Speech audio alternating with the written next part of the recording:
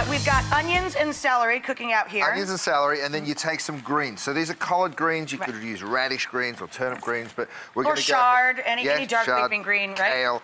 So that goes in, and it, you need to just cook it it down. down, so, right? so a little Like bit this of guy here. this beautiful stock. Uh, stick a lid on it and cook it down for about 30 minutes. Okay, so just enough stock to get it going. Gotcha. And then it'll come out looking just, Just like that. this fine stuff. Great. Okay, then we throw in some herbs. So I've got Okay. some thyme, some rosemary, some parsley. And lots of sage. Lots of sage, Yeah, throw that in. Gorgeous. Uh, so it should be looking really soupy at this point. Right, right, right. right? Then we've gone ahead and made some cornbread and Right. baked it off, right? So it looks like this. This is a an older, staler one. You want to use it a couple of days after. Or you after. can crumble it up, right, and just toast it. Exactly. Like done that's, here. that's also awesome. Um, and then what you do is you bring this over here Bring to the over here. sausage. Okay. Right, so I've just cooked off a little bit of sausage. You can see I've browned that off.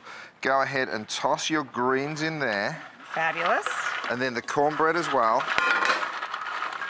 And so a stuffing shouldn't be difficult. It should really be just a stuffing, right? Now, Right. of course, this isn't tradition. This isn't technically a stuffing. It's a dressing because we're not stuffing We're it not into putting it inside the bird, but I think everybody universally calls it stuffing, whether Right. it's in the bird or not. And if it if you just sort of toss that together, if it looks like it needs a little bit more You can add a little broth, more stock, And. I've mixed a little egg into there as well, right? So Oh, the to egg's help bind it, hold right. it together. Yeah, exactly. So go ahead and pour a little of that in.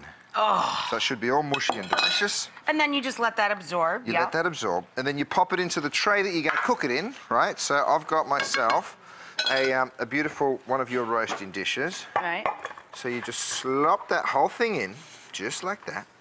You can use bacon, you can use sausage, you know, there's so many different ways to take I'm the gonna just grab the trivet here. I'll get the one in the oven for you. Little salt, and then it goes straight in the oven. This one's been in for about 30 minutes at about 350, 375 degrees. Oh my God, Okay. it's gorgeous.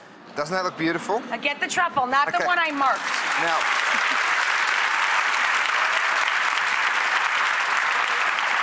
Oh, oh, yum. I'm going to name drop for a second. My friend Olga Urbani, who is like truffle royalty. Yeah, Urbani is the bomb. It is Right. truffle central. It's like they, they I went and got some of these beautiful truffles from her. And uh, I mean, look at this. They're Just just, so, gorgeous. so gorgeous. Yum.